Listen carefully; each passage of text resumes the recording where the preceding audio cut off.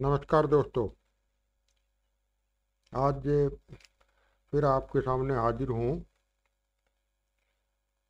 Part two multiple choice questions लेकर के और फॉरेस्ट्री से रिलेटेड जो डिफरेंट मल्टीपल चॉइस क्वेश्चन पूछे जा सकते हैं डिफरेंट एग्ज़ाम्स में। जैसे आईसीआर का जेआरएफ नेट है या A S R B U P S C द्वारा conducted the Indian forest service state forest service range forest officer आपके आई एफ़ एस इंटरव्यू के लिए। तो मल्टीपल चॉइस क्वेश्चन डिस्कस करेंगे अलॉन्ग विद डिटेल्ड एक्सप्लेनेशन हर एक question की ये पार्ट टू है पार्ट वन में ऑलरेडी कवर कर चुका हूँ। तो शुरू करते हैं। जो तमाम क्वेश्चन मेरे एक्सपीरियंस के आधार पे हैं, जो कि मैंने पैंतीस साल गुजारे हैं भारतीय वन सेवा के में डिफरेंट एस्पेक्ट में, चाहे वो फॉरेस्ट एडमिनिस्ट्रेशन हो मैनेजमेंट हो टीचिंग हो Indian institute of forest management Bhopal में, या फिर रिसर्च प्रोजेक्ट हों at arid forest research institute Jodhpur and eminent institute of I C F R in Rajasthan तो शुरू करते हैं आज का video The first multiple choice question is the total increment up to a given age divided by that age. What is this called? CAI that is current annual increment, mean annual increment, periodic annual increment that is PAI and growth. So what is the correct choice here? So correct choice is B that is MAI. देखिए M I means mean annual increment तो इसको समझने के लिए पहले तो जानना होगा कि व्हाट इज़ इंक्रीमेंट तो increment is nothing but a quali quantitative change इसमें क्वांटिटी मेंशन होनी चाहिए। Quantitative change in any of the attributes of tree may be change in girth change in dia change in basal area और height और corresponding volume over a given period of time तो ये तो हो गया increment अब एक होता है करंट एनुअल इंक्रीमेंट जो नेक्स्ट इंपॉर्टेंट है. तो increment put up by a tree और एक tree crop during a single year एक साल में जितना इंक्रीमेंट है जनरली ये मेंशन नहीं है तो इसका मतलब है current annual increment of volume otherwise dia का है या हाइट का है तो वो मेंशन होगा. सिंपली सी ए आई लिखा है current annual increment it is understood कि it is meant for the volume of a particular tree अगर ये ट्री क्रॉप के लिए ले रहे हैं तो this is volume of tree crop put up during a single year तो नेक्स्ट इंपॉर्टेंट इसमें आस्पेक्ट है मीन एनुअल इंक्रीमेंट तो जो टोटल इंक्रीमेंट को अगर जोड़ दें अप टू गिवन एज मान लीजिए मीन एनुअल इंक्रीमेंट निकालना हमें दस साल का, एक पर्टिकुलर ट्री क्रॉप का। तो जो टोटल इंक्रीमेंट पुट अकुमुलेट हुआ है up to tenth year ten during the ten years यानी कि पहले साल का, दूसरे साल का, तीसरे साल का फोर्थ ईयर का फिफ्थ ईयर का up to ten year divided by ten तो total increment up to given age divided by that age तो that becomes mean annual increment तो in this manner this is nothing but mean volume of a tree और tree crop at desired age तो ये इसका concept है? Next question the sum by number और volume of all the trees growing in the forest is called इसको क्या कहेंगे? सम है, ये नंबर से भी हो सकता है और वॉल्यूम से भी हो सकता है. Of all the trees growing in the forest इसको ग्रोइंग स्टॉक कहेंगे ट्री वॉल्यूम कहेंगे फ्लोइंग स्टॉक कहेंगे या डेड स्टॉक कहेंगे.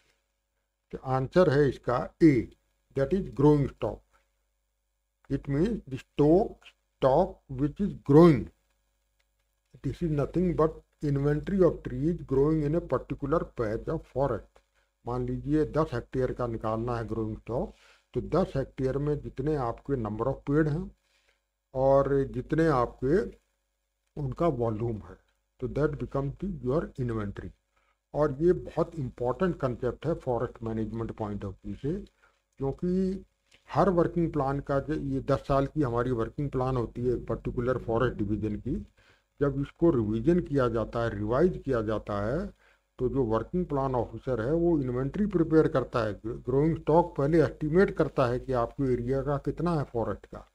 उसके आधार पर ही आप ईल्ड एनुअल ईल्ड जो कि एनुअल टिम्बर रिमूवल होता है ग्रोइंग स्टॉक के आधार पर ही वो फिक्स होता है। क्योंकि जितने भी फार्मूले हमारे एनुअल ईल्ड के हैं, वो ग्रोइंग स्टॉक उसमें रहता है। तो growing stock in this way is nothing but forest capital and increment is its yield जैसे कि आपने बैंक में मान लो दस लाख रुपया रखा है सेविंग अकाउंट में या फिक्स डिपॉजिट में तो वो आपका हो गया कैपिटल और जो आप इंटरेस्ट अर्न कर रहे हैं, वो आपका हो गया इंक्रीमेंट जिस तरह से बैंक डिपॉजिट पे इंटरेस्ट मिलता है। इसी तरह से फॉरेस्ट कैपिटल पे आपको इंक्रीमेंट मिलता है, जिसको आप, जिसके आधार पे हम एनुअल ईल्ड निकालते हैं। तो this is the concept of growing stock next question is the plan number of year between the formation और regeneration of crop in its final felling and its final felling यानी कि एक crop के उगाने से लेकर के या अगर वो रीजनरेट है तो रीजनरेशन से लेकर के फाइनल फेलिंग तक उसको उस पीरियड को क्या कहते हैं? उस नंबर ऑफ़ ईयर्स को। तो ये भी एक बहुत इम्पोर्टेंट क्वेश्चन है फ्रॉम फॉरेस्ट मैनेजमेंट और forest mensuration point of view से। तो चॉइस है आपकी साइकिल, रोटेशन, सीरीज़ और कूप। इसका आंसर है करेक्ट, रोटेशन। ये नंबर ऑफ़ ईयर्स रोटेशन हमेशा होती है ईयर्स में। तो there are many kind of rotation in forest management तो मोटे तौर से ये तीन हैं, जैसे physical rotation silvicultural rotation technical rotation अब फ़िज़िकल रोटेशन क्या है? Physical rotation means as the name indicate physical rotation it means rotation that coincide with the natural lease of life of species at a given site. यानी कि आपके पेड़ को उस time तक ज़िंदा रहने दिया जाता है जब तक वो जीता है उसको काटना नहीं, वो अपने से ही गिरेगा, अपने से ही वो नेचुरल डेथ होगी उसकी ये this type of rotation is practice in protection forest जैसे कि नेशनल पार्क हैं वाइल्ड लाइफ सेंचुरीज हैं, या फिर ऐसे एरियाज़ हैं which are manage for ecosystem services कौन सी ecosystem services specially water regulation soil erosion prevention जैसे कि शिमला में, शिमला से अपर साइड में म्यूनिसिपल फॉरेस्ट है, देवदार फर प्रूफ का।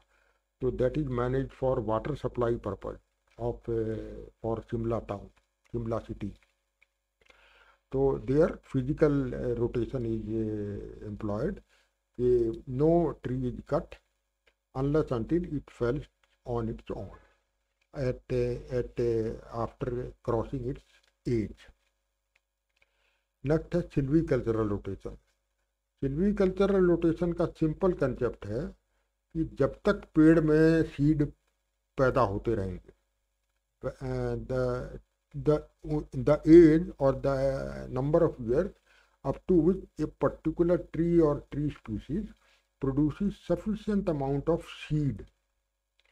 seed that it is retained.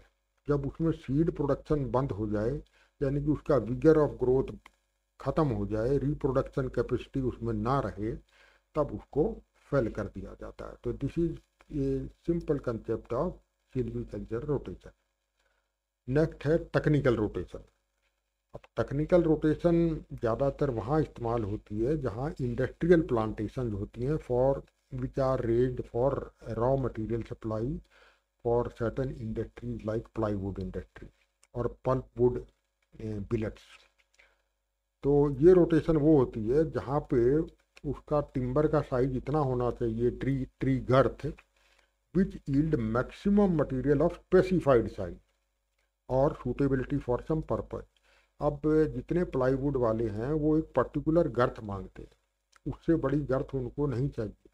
क्योंकि उनकी जो पीलिंग मशीन होती है उसमें एक पर्टिकुलर गर्थ ही का ही लॉग आ सकता है तो वहाँ तक आने में जितना समय लगेगा जैसे यमुनानगर एरिया है हरियाणा का कुरुक्षेत्र अम्बाला डिस्ट्रिक्ट हैं वहाँ पे आपको यूकलिप्टस और poplar they are are raised up to 7 or 8 years.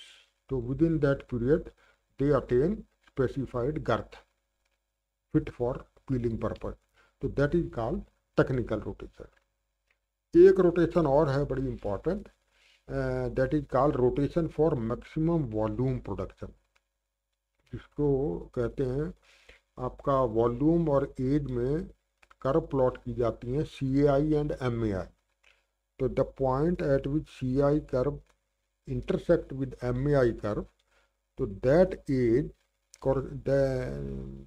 corresponding volume and corresponding age is found out. And uh, and uh, at that particular age the uh, volume will be maximum उसके बाद आपका volume कम होना शुरू हो जाएगा। तो तो that for maximum volume purpose the tree और tree crop must be felled at that particular age तो ये कंसेप्ट है आपका। Rotation for maximum volume production चलिए नेक्स्ट क्वेश्चन है, ये भी फॉरेस्ट मैन्सूरेशन से ही है।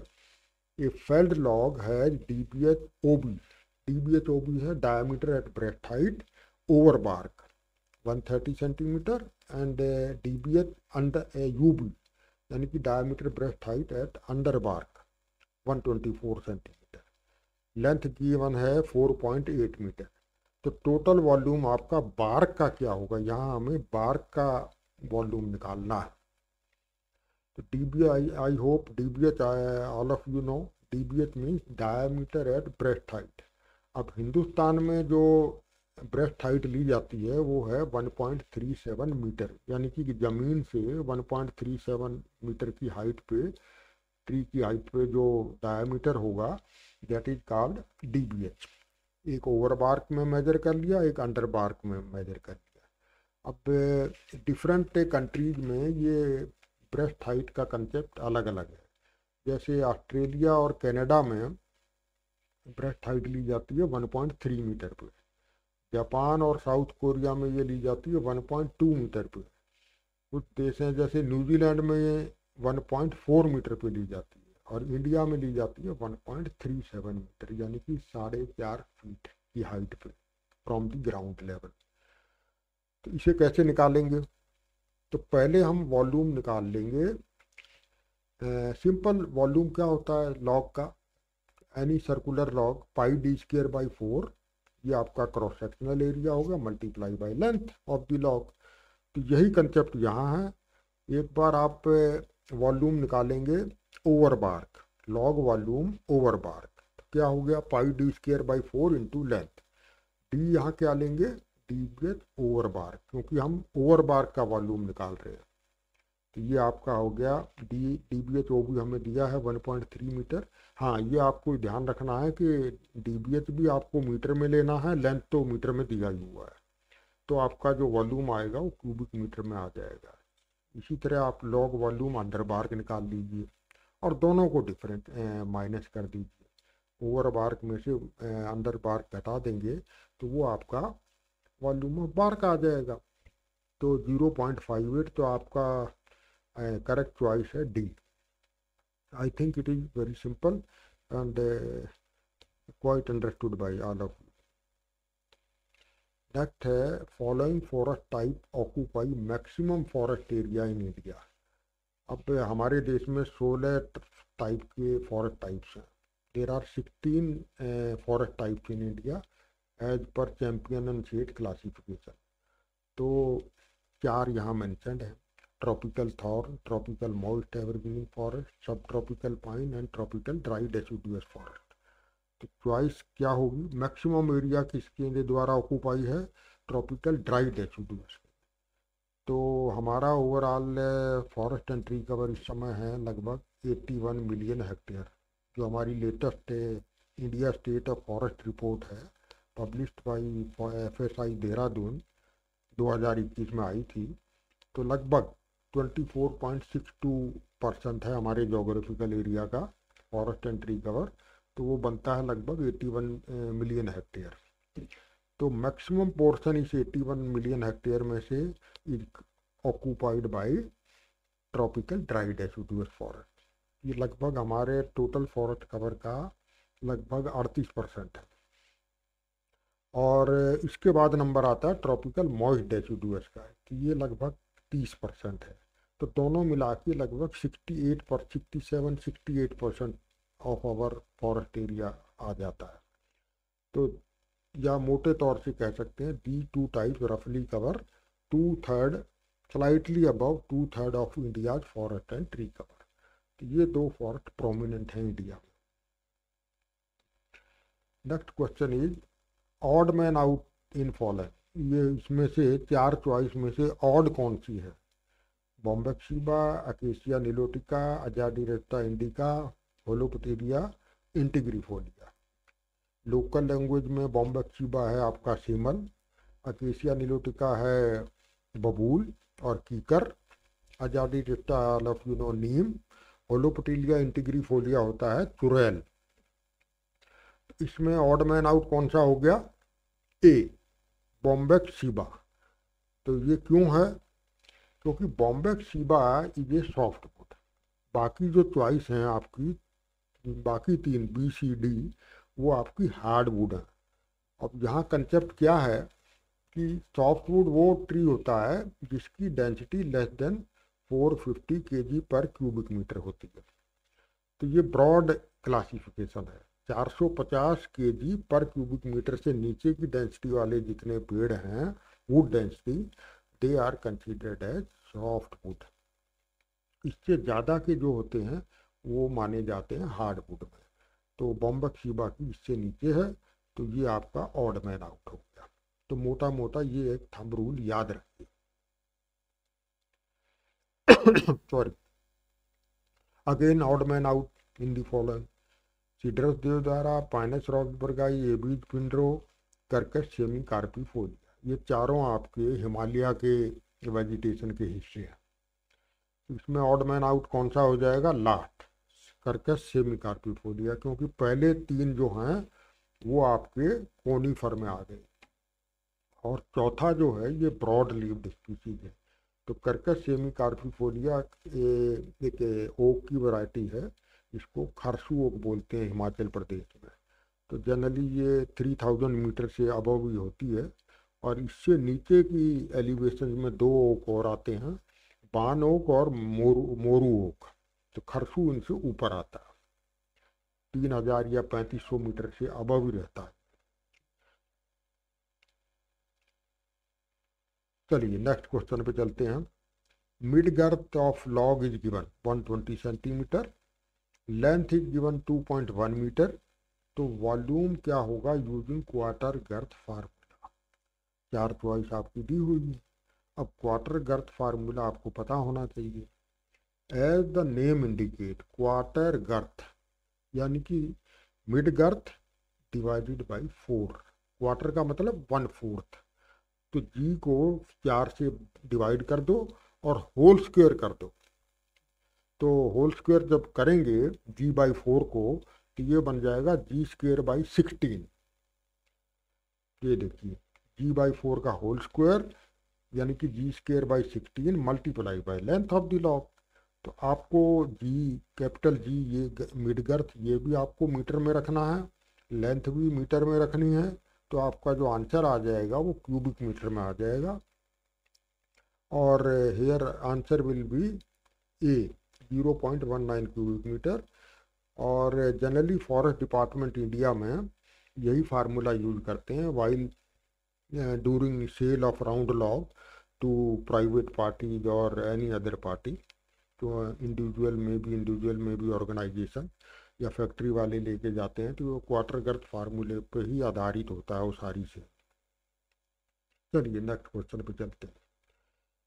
नेक्स्ट है timber species among most hard category out of the follow यानी कि मोस्ट हार्ड कैटेगरी की टिम्बर इनमें से कौन सी है? Mangifera indica that is mango आम पाइनस वाली चियाना ये आपका ब्लू पाइन बोलते हैं इसे हिमाचल हिमाचल प्रदेश में और उत्तराखंड में।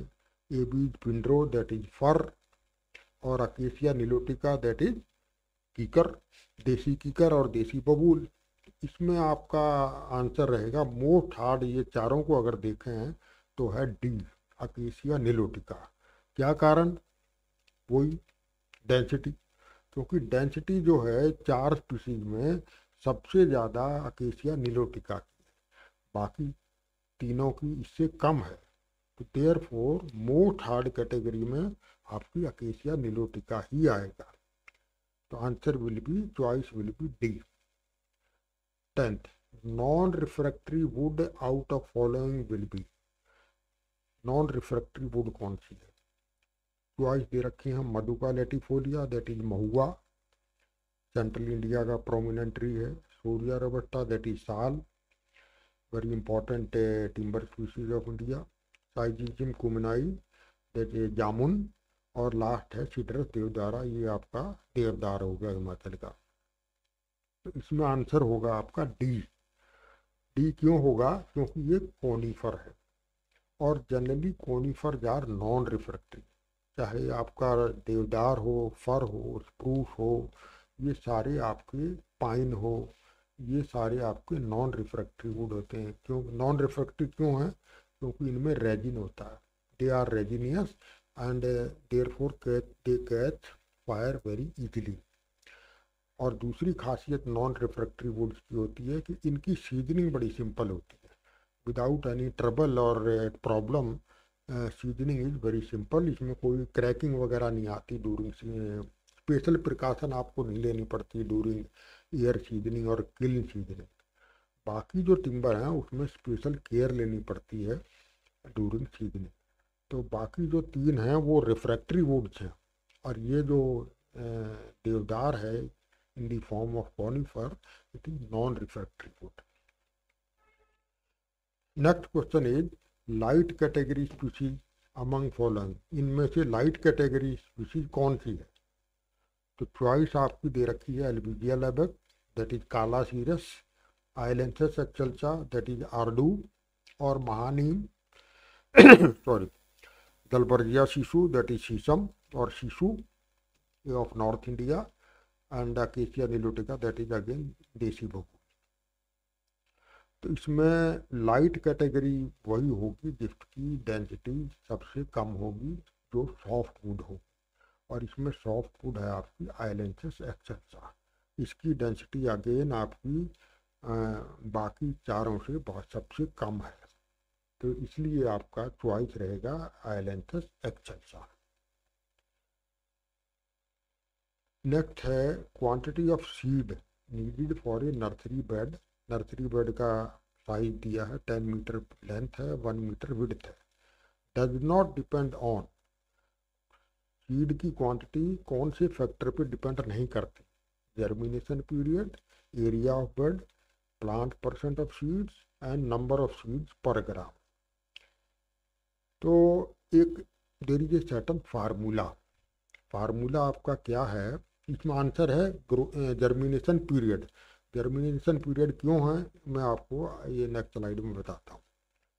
तो कैसे कैलकुलेट करते हैं quantity of seed for a nursery bed तो ये आपका फार्मूला है।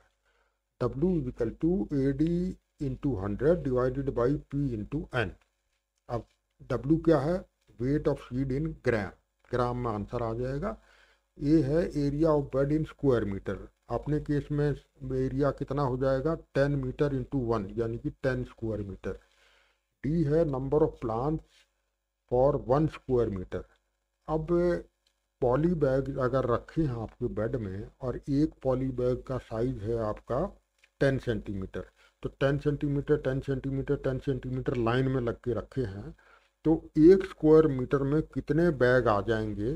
तो that will be number of plants P है आपका plant percent of seed plant percent of seed का मतलब है, मान लीजिए सपोज़ पचपन परसेंट है आपका fifty five percent plant percent इसका मतलब है out of hundred seed fifty five seed are germinated they are converted into seedling बाकी फोर्टी फाइव फेल हो गए।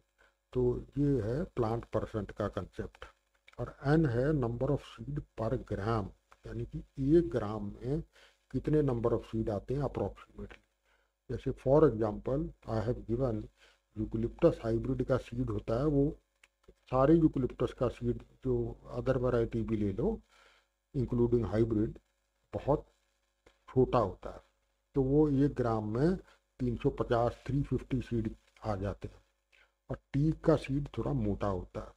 तो वो एक ग्राम में मुश्किल से 2.5 या थ्री तीन सीड ही चढ़ेंगे।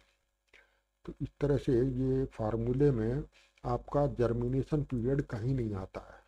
तो अपना आंसर रहेगा इसमें जर्मिनेशन पीरियड वो जर्मिनेशन पीरियड चाहे दस दिन हो, चाहे पंद्रह दिन हो, चाहे बीस दिन हो। उसका वेट ऑफ़ सीड रिक्वायर्ड से कोई लेना देना नहीं। तो answer is germination period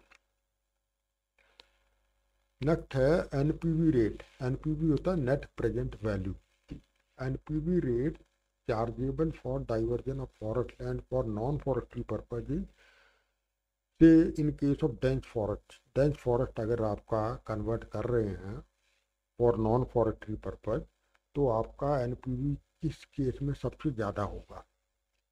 littoral swum forest में ज़्यादा होगा या ट्रॉपिकल ड्राई डेसिडुअस में ज़्यादा होगा या ट्रॉपिकल थॉर्न फॉरेस्ट में ज़्यादा होगा या सब अल्पाइन फॉरेस्ट में ज़्यादा होगा? देखिए, दो, एक मोटी सी बात याद रखिए कि फॉरेस्ट कंजर्वेशन एक्ट 1980 में जब कोई यूज़र एजेंसी लैंड लेती है फॉरेस्ट लैंड को और non forestry purpose for example an अगर कोई डैम बना रही है रिजर्वायर बना रही है फॉरेस्ट एरिया में तो तो आपका दो तरह की चार्जेज वो डिपॉजिट कराते हैं फॉरेस्ट डिपार्टमेंट को। कैंपा में डिपॉजिट होती हैं। एक एनपीवी एक होता है कंपनसेटरी अफॉरेस्टेशन कॉस्ट तो एनपीवी का यहाँ कंसेप्ट है कि जो इकोलॉजिकल सर्विसेज़ लॉस्ट हो जाती हैं बिकॉज़ ऑफ़ डाइवर्जन तो उनको अकाउंट फॉर करने के लिए ये एनपीवी जमा कराना पड़ता है। तो ये इसमें आंसर रहेगा और एन पी वी मेनली दो चीज़ों पर डिपेंड करता है कि फॉरेस्ट का टाइप क्या है और डेंसिटी ऑफ़ फॉरेस्ट क्या है। अब जैसे ये कैटेगरी है ट्रॉपिकल एवरग्रीन रेन फॉरेस्ट जो अंडमान के हैं या वेस्टर्न घाट के हैं या अरुणाचल प्रदेश के हैं, इसी तरह tropical semi evergreen forest tropical moist deciduous forest और लिटोरल एंड स्वैम्प फॉरेस्ट इन चारों की एनपीवी मैक्सिमम है। अगर डेंस कैटेगरी है तो सबसे ज़्यादा और मॉडरेट है डेंसिटी तो थोड़ी सी कम और ओपन है, यानी कि less than forty percent canopy density है, जो थोड़ी सी और कम रहेगी। तो क्योंकि ये डेंस कैटेगरी लिखा है इस क्वेश्चन में तो लिटोरल एंड स्वैम्प फॉरेस्ट तो हमारा आंसर रहेगा, यानी कि ए और आपका इस केस में लगभग सिक्सटीन लाख पंद्रह लाख पचानवे हज़ार सात सौ नब्बे रुपया पर हेक्टेयर है। तो रफली we can say sixteen lakh per hectare user agency को जमा कराना पड़ेगा। मान लीजिए सौ हेक्टेयर वो डाइवर्जन हो रहा है डेंस कैटेगरी का फॉरेस्ट अरुणाचल प्रदेश में तो आप ये सोलह लाख को सौ से मल्टीप्लाई कर लीजिए, इतना तो उसका एन हो जाएगा। और कंपनसेटरी अफॉरेस्टेशन का कॉस्ट अलग से है। तो this is the concept hope it is clear to you next is number of seed per unit weight for sowing purpose in a nursery bed will be highest in case of यानी कि nursery bed में number of seed per unit weight एक gram में या एक kilogram में किस case में सबसे ज़्यादा रहेंगे? नीम के केस में ज़्यादा रहेंगे या सूबबूल या टीक या यूकलिप्टस तो botanical name are also given Azadirachta Leucaena leucocephala Tectona grandis और एंड यूकलिप्टस हाइब्रिड इस केस में जो जिसका जिसका बीज का साइज़ सबसे छोटा होगा the species having uh, minimum size of the seed will be having more uh, number of seed. तो नंबर ऑफ़ सीड हाईएस्ट किसमें होंगे? इसमें आपके डी यूकलिप्टस में होंगे क्योंकि नीम के चाहे नीम हो चाहे सुबबूल हो चाहे टीक हो इनके सीड यूकलिप्टस के सीड से बड़े होते हैं। तो पर यूनिट वेट में वो कम चढ़ेंगे, यूकलिप्टस के केस में ज़्यादा चढ़ेंगे। तो यही मैंने आंसर लिया हुआ है कि बिकॉज़ यूकलिप्टस सीज आर लाइटर और smallest in size in comparison to other species तो answer will be eucalyptus hybrid next is Triphala. An Ayurvedic medicine ये चूर्ण होता है पाउडर फॉर्म में does not consist of following Triphala में कौन सा आइटम नहीं होता? आंवला, हर्रा, बहेड़ा और एक है साजा। Emblica officinalis Terminalia chebula Terminalia tomentosa Terminalia bellerica. तो इसका आंसर रहेगा सी टर्मिनेलिया टोमंटोसा क्योंकि आंवला, इसमें आंवला, हर, हरड़ और बहेड़ा, ये तीनों इक्वल प्रोपोर्शन में मिला के खाते हैं। और पेट के लिए ये बहुत बढ़िया माना गया आयुर्वेदिक चूर्ण है पाउडर है। और it is very beneficial for all kind of stomach upset stomach problem तो Terminalia tomentosa is not a part of this medicine आंवला में ये नहीं पड़ता है। नेक्स्ट है त्रिवेणी प्लांटेशन ये होता है, ये सीक्रेट काइंड ऑफ़ प्लांटेशन होती है, त्रिवेणी। त्रिवेणी वैसे बोलते हैं जहाँ तीन नदियाँ आके मिलती हैं।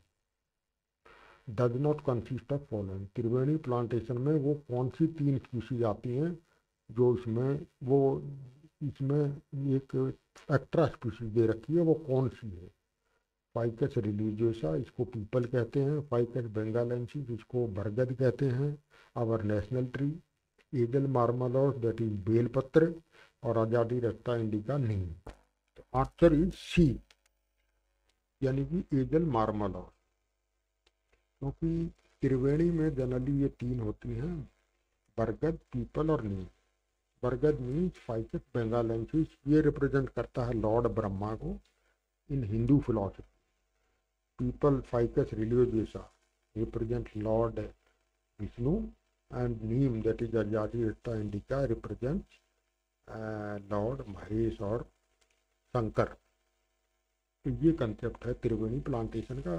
And in north India and in Rajasthan Uttar Pradesh Bihar also you will find lot of Triveni plantation specially around temples next question है most of timber out of fallen अब इन चारों में से मोस्ट सॉफ्ट टिम्बर कौन सी? Lannea coromandelica, Terminalia chebula Acacia catechu और Azadirachta indica. Again वही होगा सेम कंसेप्ट जिसका density less than 450 KG per cubic metre है तो वो वो टिम्बर सबसे सॉफ्ट होगा। तो इसमें आंसर है ए लेनिया कोरोमंडलिका। इसको बोलते हैं मोयन। In Madhya Pradesh it is called moyan तो इसकी डेंसिटी वही है 500 केजी पर क्यूबिक मीटर के आसपास है। ये डेंसिटी जो दी हुई है के जी पर क्यूबिक मीटर में, ये एम यूनिट में है। अगर इसको अपन कहें कि भाई सीजीएस यूनिट में बताओ तो ये हो जाएगा 0.5 ग्राम पर तो ये याद रखिए, जहाँ डेंसिटी पॉइंट में दी हुई है तो उसके साथ लगेगा ग्राम पर सी और जहाँ ज़ीरो ज़ीरो लगे हुए हैं तो वो होता है एम के एस यूनिट में इन के जी पर क्यूबिक मीटर, क्योंकि वाटर की डेंसिटी भी यही होती है। आइदर वन थाउज़ेंड के जी पर मीटर क्यूब और इन सी यूनिट, ये हो जाएगा वन ग्राम पर सी इसी तरह से ये टिम्बर के लिए, in M unit and in C unit. Next है आपका, फिर ये मैंचुरेशन का है फॉरेस्ट मैंचुरेशन का प्रश्न। डीवीएस आउटर बार लॉग का गिवन है 108 centimetre bark thickness is given 6 centimetre तो डीवीएच अंडर बार्क बताइए। तो चार चॉइस गिवन है। तो इसका तो बड़ा सिंपल सा फार्मूला है। डी आउटर बार्क में से अगर twice thickness of the bark subtract करते हैं तो वो आपका डीप डी अंडर बार्क आ जाएगा। यानी कि diameter breast height under bark कितना? तो आंसर चॉइस ये, यार आपका एक हंड्रेड एंड एट में से six multiply by two twelve अगर सब्ट्रैक्ट करेंगे तो answer will be ninety six centimetre next है specific gravity of teak wood is given zero point five five weight given है टी क्लॉक का eleven hundred K G तो volume कितना होगा? चार चॉइस गिवन है? तो इसमें बड़ा सिंपल फार्मूला है। स्पेसिव ग्रेविटी ये अपन नाइन टेंथ में पढ़ते हैं। Specific gravity is nothing but weight in gram volume in C ये एक सी जी एस यूनिट में दिया है, जब मैं पहले बता रहा था आपको। ग्राम पर सी तो इसको volume C in cubic centimetre कितना हो जाएगा? Weight in gram divided by specific gravity तो वेट अपने को 1100 केजी दिया हुआ है। इसको हाँ थाउज़ेंड से मल्टीप्लाई करेंगे तो वेट इन ग्राम आ गया। पेसिव ग्रेविटी इज़ गिवन 0.55 तो आपका आंसर आ गया इन क्यूबिक सेंटीमीटर सीसी उसको आप टेन टू पावर सिक्स से डिवाइड कर दीजिए तो क्यूबिक मीटर में आ जाएगा। Because answer he wants answer in cubic metre तो आपका आंसर है टू क्यूबिक मीटर तो you have to remember this relation you have to refresh your memory of 9th and 10th class. Generally in physics and chemistry this relation is used. Next is flosses are obtained generally from. Flosses वो रूई रूई जैसा item item निकलता है flaw इसमें से pods में से तो किसमें निकलता है मोरिंगा ओलिफेरा सहजन है that is drumstick Morus alba that is sahtoot uh, uh, which is used for rearing silk worms. Bombax ceiba फीमल है और एलबीजियल है काला सीरस है। तो आंसर है सी बॉम्बेक सीबा के पॉड में फ्लॉसिस निकलते हैं। रूल जैसा एक पदार्थ निकलता है। तो कुदरत ने तो ये इसलिए बनाया है क्योंकि just it is a seed spreading mechanism तो उसको that's why this Bombax ceiba is also called silk cotton tree and these flosses are use for of filling of uh, mattresses and pillows also. Next is Masua feria. Feria species is found in. Masua feria कहाँ मिलेगी आपको tropical wet evergreen forest में mountain ये सन गलत लिख दिया। Mountain सब ट्रॉपिकल फॉरेस्ट होना चाहिए। Please correct it mountain sub tropical forest mountain temperate forest and littoral and swamp forest तो इसका करेक्ट आंसर है ट्रॉपिकल वेट एवरग्रीन फॉरेस्ट की मैचुआ फेरा जो होती है, इसको generally iron wood tree of India बोला गया। इसको नॉर्थ ईस्ट में नाहर भी बोलते हैं, नाग केसर भी बोलते हैं। और ये मिजोरम का स्टेट ट्री है। अरुणाचल में भी बहुतायत में पाया जाता है और बड़े अच्छे ऑर्नामेंटल ट्री है, बड़े अट्रैक्टिंग इसका फोलिएज है कनोपी है और वाइट फ्रेग्रेंट फ्लावर बड़े अच्छी खुशबू वाले इसमें फूल आते हैं। It is a beautiful looking tree and iron wood इसको इसलिए बोला जाता है कि timber is very hard and that is use for making post और columns in wooden houses in north east next is following species comes under non coppicer category अब चार species में से नॉन कॉपीसर कौन सी है? अकीसिया catechu that is khair Terminalia bellerica that is baheda Picea smithiana that is spruce और Butea monosperma आपका पलाश और ढाक। इसमें से नॉन कॉपीसर कौन सी है? जिसमें कॉपिस नहीं होंगे। तो आंसर इज़ सी। तो यानी कि पीसिया सिमिटियाना स्प्रूस। जनरली जितने कॉनिफर हैं वो सारे नॉन कॉनिफर होते हैं। चाहे पाइन हो ब्लू पाइन हो चीड़ पाइन हो देवदार हो आ, आपका फर हो तो ऑल आर नॉन कॉपिसर तो आंसर हमारी इसमें एक ही है ये आपका कॉनिफर इज़ ओनली वन पीसिया सिमिटियाना तो आंसर इज़ सी नेक्स्ट है डिप्टेरोकार्पस स्पीसीज आर कॉमन इन डिप्टेरोकार्पस स्पीसीज कौन से जंगल में कॉमन होती है? चार चॉइसिस आपकी दी हुई है। Littoral and swamp forest tropical wet evergreen forest Himalayan moist temperate forest and sub alpine forest answer आपका रहेगा बी डिप्टेरोकार्पस बहुत इंपॉर्टेंट ट्री स्पीसीज है ट्रॉपिकल वेट एवरग्रीन फॉरेस्ट की। आपका अंडमान निकोबार आइलैंड्स और अरुणाचल में बहुत कॉमन है और इसकी बहुत लॉफ्टी ट्री होता है। कोई कोई तो डिप्टेरोकार्पस मैक्रोकार्प कार्पस है डिप्टेरोकार्पस अलाटस है डिप्टेरोकार्पस ग्रिफिथियाई है। तो ये तीस तीस मीटर की हाइट तक भी चले जाते हैं, यानी कि सौ फीट की ऊंचाई भी हो जाते हैं। That's why they are dominant tree species in that particular jungle और इसकी बड़ी वैल्यूबल डिमांड रहती है टिम्बर की। वीनियर और प्लाईवुड पर्पज़ के लिए इसको बहुत रिक्वायर्ड है, क्योंकि इसका जो वीनियर होता है प्लाईवुड बनता है, वो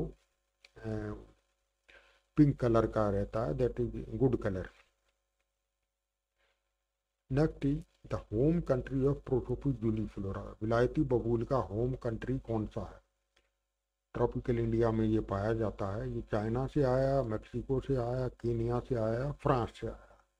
तो इसका आंसर है बी ये 1877 in around in 1877 this tree species was introduced by English Britisher in Tamil Nadu state for the purpose of fuel wood production in arid region of the Tamil Nadu उसके बाद ये सारे India में फैल गया और almost Beed की तरह हर जगह आता है, बहुत इजीली प्रोपोगेट हो जाता है।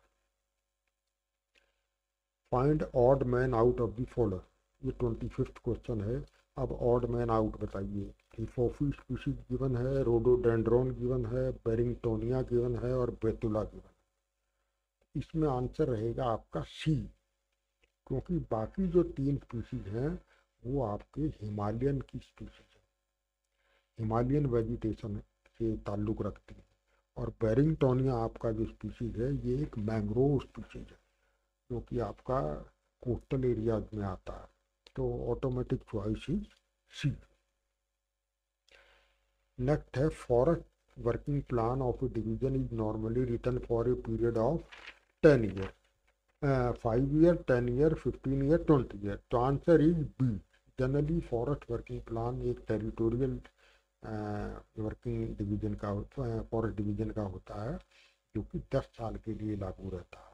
और दस साल के से पहले ही लिखना शुरू भी हो जाती है। एक्सपायर होने से दो साल पहले वर्किंग प्लान ऑफिसर उस पर्टिकुलर फॉरेस्ट डिवीज़न की वर्किंग प्लान लिखना शुरू कर देता है।